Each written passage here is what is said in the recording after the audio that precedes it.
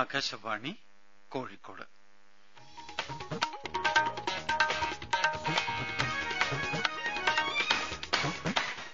നമസ്കാരം പ്രാദേശിക വാർത്തകൾ വായിക്കുന്നത് ഹക്കിം കൂട്ടായി പ്രധാന വാർത്തകൾ കൊച്ചി മംഗലുരു പ്രകൃതിവാതക പൈപ്പ് ലൈൻ പ്രധാനമന്ത്രി നരേന്ദ്രമോദി രാവിലെ പതിനൊന്നിന് രാഷ്ട്രത്തിന് സമർപ്പിക്കും ഊർജ്ജ ആത്മനിർഭരതയ്ക്ക് നാഴികക്കല്ലാണ് പൈപ്പ് ലൈൻ പദ്ധതിയെന്ന് പ്രധാനമന്ത്രി ദേദ ജനിതകമാറ്റം വന്ന കോവിഡ് വൈറസ് സംസ്ഥാനത്ത് ആറു പേർക്ക് സ്ഥിരീകരിച്ചതായി മന്ത്രി കെ കെ ശൈലജ ആശങ്ക വേണ്ടെന്നും ജാഗ്രത അത്യാവശ്യമെന്നും മന്ത്രി കോളേജ് വിദ്യാർത്ഥികൾക്ക് തിയറി പ്രാക്ടിക്കൽ ക്ലാസുകൾ ചുരുങ്ങിയ സമയത്തിനകം പൂർത്തിയാക്കാൻ പ്രാധാന്യം നൽകണമെന്ന് മന്ത്രി doctor K T Jaleel I S L ഫുട്ബോളിൽ Hyderabad F C Chennaiyin F സിയെ പരാജയപ്പെടുത്തി വാർത്തകൾ വിശദമായി ദേദ കൊച്ചി മംഗലുരു പ്രകൃതിവാതക പൈപ്പ് ലൈൻ പ്രധാനമന്ത്രി നരേന്ദ്രമോദി ഇന്ന് രാഷ്ട്രത്തിന് സമർപ്പിക്കും രാവിലെ പതിനൊന്നിന് വീഡിയോ കോൺഫറൻസിംഗ് വഴി നടത്തുന്ന ഉദ്ഘാടന ചടങ്ങിൽ ഗവർണർ ആരിഫ് മുഹമ്മദ് ഖാൻ മുഖ്യമന്ത്രി പിണറായി വിജയൻ കർണാടക ഗവർണർ വാജുഭായ് വാല മുഖ്യമന്ത്രി ബി എസ് യെദ്യൂരപ്പ കേന്ദ്ര പെട്രോളിയം പ്രകൃതിവാതക മന്ത്രി ധർമ്മേന്ദ്ര പ്രധാൻ എന്നിവർ പങ്കെടുക്കും കേരളത്തിന്റെയും കർണാടകയുടെയും രണ്ട് നഗരങ്ങളെ തമ്മിൽ ബന്ധിപ്പിക്കുന്ന നാനൂറ്റൻപത് കിലോമീറ്റർ ദൈർഘ്യം വരുന്ന പ്രകൃതിവാതക പൈപ്പ് ലൈൻ വികസന ചരിത്രത്തിൽ നാഴികക്കല്ലാണ് ജഷിതകുമാരി കൊച്ചിയിലെ എൽ എൻ ജി ടെർമിനലിൽ നിന്ന് കർണാടകയിലെ ദക്ഷിണ കന്നഡ ജില്ലയിലെ മംഗലൂരുവിലേക്ക് പ്രതിദിനം പന്ത്രണ്ട് ദശലക്ഷം മെട്രിക് സ്റ്റാൻഡേർഡ് ക്യൂബിക് മീറ്റർ പ്രകൃതിവാതകം കൊണ്ടുപോകാൻ കഴിയുന്ന പൈപ്പ് ലൈനാണ് പ്രധാനമന്ത്രി ഇന്ന് രാഷ്ട്രത്തിന് സമർപ്പിക്കുന്നത് എറണാകുളം തൃശൂർ പാലക്കാട് മലപ്പുറം കോഴിക്കോട് കണ്ണൂർ കാസർകോട് ജില്ലകളിലൂടെയാണ് സംസ്ഥാനത്ത് പൈപ്പ് ലൈൻ കടന്നുപോകുന്നത് വീട്ടാവശ്യത്തിന് പരിസ്ഥിതി സൌഹൃദവും ചെലവ് കുറഞ്ഞതുമായ പ്രകൃതിവാതക ഇന്ധനവും ഗതാഗത മേഖലയ്ക്ക് സി എൻ ജിയും ഈ പൈപ്പ് ലൈൻ വഴി ലഭ്യമാകും പൈപ്പ് ലൈൻ കടന്നുപോകുന്ന ജില്ലകളിൽ വ്യവസായ വാണിജ്യ ആവശ്യങ്ങൾക്ക് പ്രകൃതിവാതകം നൽകും സംസ്ഥാനത്തിന്റെ വ്യാവസായിക വളർച്ചയ്ക്കും സാമ്പത്തിക വികസനത്തിനും വലിയ സാധ്യതയാണ് ചെലവ് കുറഞ്ഞ പ്രകൃതിവാതക ഇന്ധനം ലഭ്യമാകുന്നത് വഴി തുറന്നു കിട്ടുന്നത് ന്യൂസ് ഡെസ്ക് ആകാശവാണി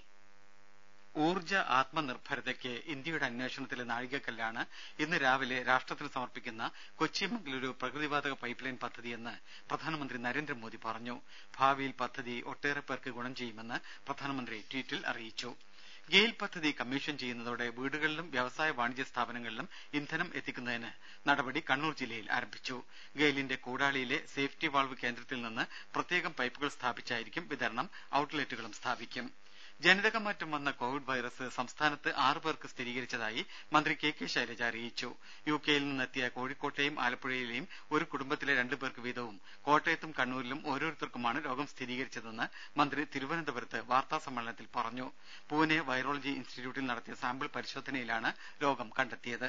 ഇവരെല്ലാം ചികിത്സയിലാണെന്നും ഇവരുമായി സമ്പർക്കമുള്ളവർ നിരീക്ഷണത്തിലാണെന്നും മന്ത്രി പറഞ്ഞു ആശങ്കപ്പെടേണ്ട കാര്യമില്ലെങ്കിലും ജാഗ്രത അത്യാവശ്യമാണെന്ന് മന്ത്രി അറിയിച്ചു ജനിതകമാറ്റം വന്ന വൈറസ് വൈറസ് ശരീരത്തിൽ പെട്ടെന്ന് പെരുകുകയും മറ്റുള്ളവരിലേക്ക് വേഗം പകരുകയും ചെയ്യുമെന്നും മന്ത്രി പറഞ്ഞു ഈ സാഹചര്യത്തിൽ പ്രായമായവർ പ്രത്യേകം ശ്രദ്ധിക്കണമെന്നും റിവേഴ്സ് ക്വാറന്റൈൻ ആവശ്യമാണെന്നും മന്ത്രി പറഞ്ഞു വിദേശത്ത് നിന്ന് വരുന്നവരും അവരുമായി സമ്പർക്കത്തിൽ വരുന്നവരും ആരോഗ്യവകുപ്പിനെ അറിയിക്കണമെന്നും ശൈലജ ആവശ്യപ്പെട്ടു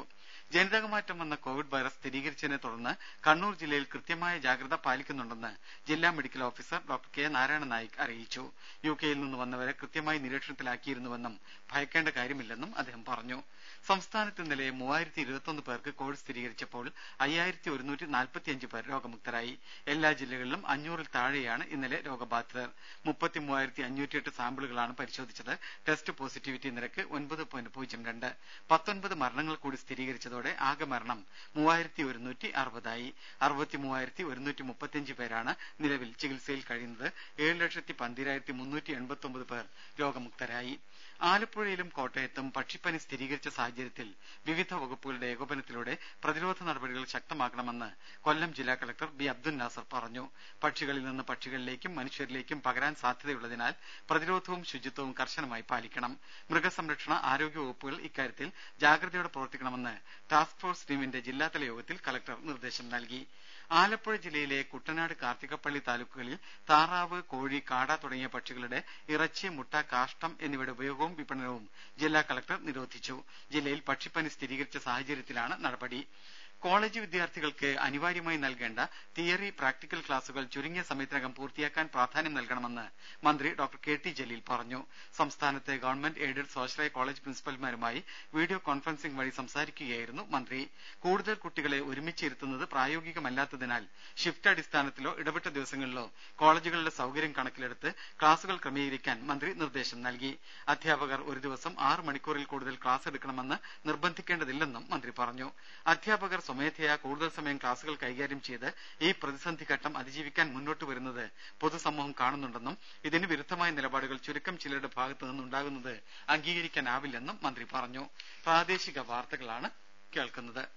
ദേദ ഐ എസ് എൽ ഫുട്ബോളിൽ ഹൈദരാബാദ് എഫ് സിക്ക് ജയം ഗോവയിൽ ചെന്നൈയിൻ എഫ് സിയെ ഒന്നിനെതിരെ നാല് ഗോളുകൾക്കാണ് അവർ തോൽപ്പിച്ചത് മത്സരത്തിന്റെ രണ്ടാം പകുതിയിലാണ് എല്ലാ ഗോളുകളും പിറന്നത് ജയത്തോടെ ഹൈദരാബാദ് ലീഗിൽ ആറാം സ്ഥാനത്തെത്തി ചെന്നൈയിൻ എട്ടാം സ്ഥാനത്താണ് ഇന്ന് വൈകീട്ട് ഏഴരയ്ക്ക് ബംഗളൂരു എഫ് സി മുംബൈ സിറ്റിയെ നേരിടും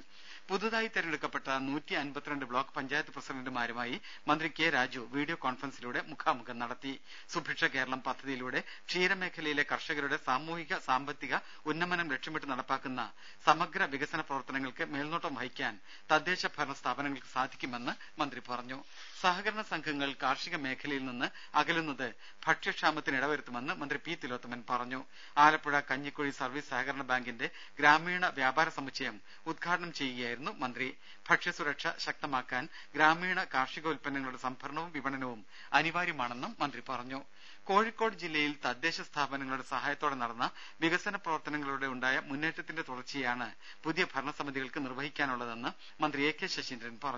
തെരഞ്ഞെടുക്കപ്പെട്ട ഗ്രാമപഞ്ചായത്ത് പ്രസിഡന്റുമാരുടെയും സെക്രട്ടറിമാരുടെയും മേഖലാ യോഗം ഉദ്ഘാടനം ചെയ്യുകയായിരുന്നു മന്ത്രി പൊതുജനങ്ങൾക്ക് സഹായകമായ പദ്ധതികൾ ആവിഷ്കരിക്കുന്നതോടൊപ്പം അതിനായി ജില്ലയുടെ ഭൌതിക സാഹചര്യങ്ങളുടെ വികസനവും ഉറപ്പുവരുത്തണമെന്ന് മന്ത്രി പറഞ്ഞു രുമ മഹാത്മാഗാന്ധി സർവകലാശാലയിലെ മാർക്ക്ദാന സംഭവത്തിൽ സിൻഡിക്കേറ്റിനെതിരെ നടപടി ആവശ്യപ്പെട്ട് പ്രതിപക്ഷ നേതാവ് രമേശ് ചെന്നിത്തല ഗവർണർക്ക് കത്ത് നൽകി മാർക്ക് കൂട്ടി നൽകിയത് വിവാദമായതിനെ തുടർന്ന് ബിടെക് വിദ്യാർത്ഥികളുടെ ബിരുദം ഒക്ടോബർ സർവകലാശാല സിൻഡിക്കേറ്റ് പിൻവലിച്ചിരുന്നു ഇതിനെതിരെ വിദ്യാർത്ഥികൾ ഹൈക്കോടതിയെ സമീപിക്കുകയും ബിരുദങ്ങൾ പിൻവലിച്ച സിൻഡിക്കേറ്റ് തീരുമാനം കോടതി റദ്ദാക്കുകയും ചെയ്തു സർവകലാശാല നിയമമനുസരിച്ച് ബിരുദം റദ്ദാക്കാൻ ചാൻസലർ കൂടിയായ ഗവർണർക്ക് മാത്രമാണ് അധികാരം അതിനാൽ ഇക്കാര്യത്തിൽ ഗവർണർ അടിയന്തരമായി ഇടപെടണമെന്ന് അദ്ദേഹം കത്തിൽ ആവശ്യപ്പെട്ടു മൂന്ന് പ്രത്യേക ട്രെയിൻ സർവീസുകൾ കൂടി റെയിൽവെ പ്രഖ്യാപിച്ചു ആലപ്പുഴ കണ്ണൂർ ആലപ്പുഴ പ്രതിദിന പ്രത്യേക ട്രെയിൻ ഞായറാഴ്ച സർവീസ് ആരംഭിക്കും ഉച്ചകഴിഞ്ഞ് രണ്ട് നാൽപ്പത്തിയഞ്ചിന് ആലപ്പുഴയിൽ നിന്ന് പുറപ്പെടുന്ന ട്രെയിൻ രാത്രി പതിനൊന്ന് പത്തിന് കണ്ണൂരിലെത്തും തിങ്കളാഴ്ച പുലർച്ചെ അഞ്ച് പത്തിന് കണ്ണൂരിൽ നിന്ന് പുറപ്പെട്ട് ഉച്ചയ്ക്ക് ഒന്ന് ഇരുപതിന് ആലപ്പുഴയിലെത്തും Ernakulam junction K S R Bengaluru പ്രതിദിന സൂപ്പർഫാസ്റ്റ് പ്രത്യേക ട്രെയിൻ വെള്ളിയാഴ്ച രാവിലെ ഒൻപത് പത്തിനും തിരുവനന്തപുരം ഹസ്രത്ത് നിസാമുദ്ദീൻ പ്രതിവാര പ്രത്യേക സൂപ്പർഫാസ്റ്റ് ട്രെയിൻ ശനിയാഴ്ചയും സർവീസ് ആരംഭിക്കും സർവീസ് ആരംഭിക്കും തിരുനെൽവേലി പാലക്കാട് തിരുനെൽവേലി പ്രത്യേക ട്രെയിനിന് പുനലൂരും കൊട്ടാരക്കരയും അനുവദിച്ചതായി റെയിൽവെ അറിയിച്ചു രുമ വിമാന അപകടത്തെ തുടർന്ന് നിയന്ത്രണം ഏർപ്പെടുത്തിയ കരിപ്പൂർ വിമാനത്താവളത്തിൽ വലിയ വിമാനങ്ങളുടെ സർവീസ് പുനരാരംഭിക്കുന്നതിന് മുന്നോടിയായി അന്തിമ സുരക്ഷാ വിലയിരുത്തൽ യോഗം ഇന്ന് ചേരും ഉയർന്ന സുരക്ഷാ ഉദ്യോഗസ്ഥരുടെയും വിമാന കമ്പനി മേധാവികളുടെയും സാന്നിധ്യത്തിൽ വൈകിട്ട് മൂന്നിനാണ് യോഗം യോഗത്തിൽ നേരിട്ടെത്താൻ കഴിയാത്ത ഉദ്യോഗസ്ഥർ ഓൺലൈനായാണ് പങ്കെടുക്കുക civil aviation Chennai regional deputy ഡയറക്ടറുടെ നേതൃത്വത്തിൽ കരിപ്പൂരിൽ നവംബർ ഇരുപത്തിയഞ്ചിന് പരിശോധന നടത്തിയിരുന്നു രുമ സംസ്ഥാനത്തെ സിനിമാ തിയേറ്ററുകളിൽ പ്രദർശനം കുറിച്ച് ആലോചിക്കാൻ തിയേറ്റർ സംഘടനകളുടെ യോഗം ഇന്ന് കൊച്ചിയിൽ ചേരും തിയേറ്ററുകൾ ഇന്ന് തുറക്കാൻ സംസ്ഥാന ഗവൺമെന്റ് അനുമതി നൽകിയിരുന്നു അവ്യക്തതയും ഗവൺമെന്റ് ധനസഹായം പ്രഖ്യാപിക്കാത്തതുമാണ് തിയേറ്ററുകൾ തുറക്കാൻ വൈകുന്നത് കാരണം സംസ്ഥാന ചലച്ചിത്ര വികസന കോർപ്പറേഷന്റെ നിയന്ത്രണത്തിലെ തിയേറ്ററുകൾ ഒരാഴ്ചയ്ക്ക് ശേഷമേ തുറക്കൂവെന്ന് ചെയർമാൻ ഷാജി എൻ കരുൺ തിരുവനന്തപുരത്ത് അറിയിച്ചു രുമ കേന്ദ്ര കാർഷിക നിയമത്തിന്റെ പശ്ചാത്തലത്തിൽ കർഷകർക്ക് ആശ്വാസമായി കൂടുതൽ സ്വകാര്യ കമ്പനികൾ ഏലക്കയുടെ ഇ ലേല രംഗത്ത് സജീവമാകുന്നു സ്പൈസസ് ബോർഡ് നടത്തുന്ന ലേലത്തിന് പുറമെയാണിത് ആദ്യഘട്ടത്തിൽ Idukki Vandanmedu green cardamom producer company നടത്തിയ ലേലത്തിൽ കേരളത്തിലെയും തമിഴ്നാട്ടിലെയും അറുപത്തിയഞ്ചോളം വ്യാപാരികൾ പങ്കെടുത്തു കോഴിക്കോട് ജില്ലയിൽ സപ്ലൈകോ വഴി രണ്ടാം വിള നെല്ല് സംഭരണത്തിന് ഓൺലൈൻ രജിസ്ട്രേഷൻ ആരംഭിച്ചു കൊച്ചി മംഗലുരു പ്രത്യേക വാതക പൈപ്പ് ലൈൻ പ്രധാനമന്ത്രി നരേന്ദ്രമോദി രാവിലെ പതിനൊന്നിന് രാഷ്ട്രത്തിന് സമർപ്പിക്കും